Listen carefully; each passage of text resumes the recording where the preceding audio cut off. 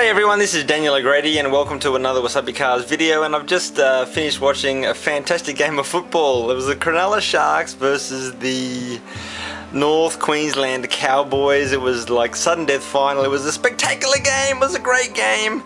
Oh my god. Oh, so excited.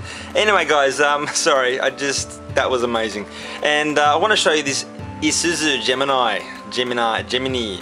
And uh, I don't really have a great deal to say about this. I think what I really want to say is I never see Isuzus or I very rarely see Isuzus. When I go to a car show, it's like 4 out of 10 are Nissans, 3 out of 10 are Toyotas, and what's that? That makes, um, and then of the other three, you've got what?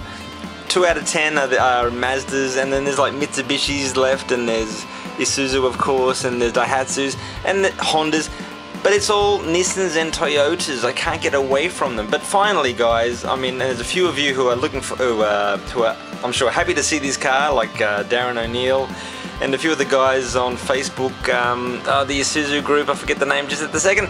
But um, hey, guys, finally, a Gemini.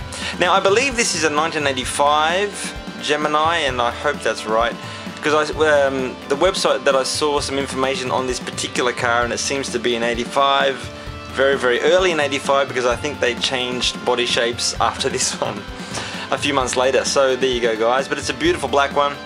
I see it's lacking any any identification uh, re double Z, ZZ uh, stickers. That's a bit of a shame. I don't know what the deal is there. Maybe they got buffed off. It's so shiny. guys, I really got to take a breath, but what a game of football that was. Anyway, guys, it's um, it's it's uh, what Saturday afternoon. Hope you're having a great one.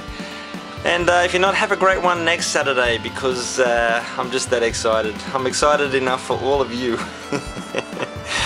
oh my god, and I've had half a, half a drink perhaps. Thank you so much everyone. Take it easy, see you.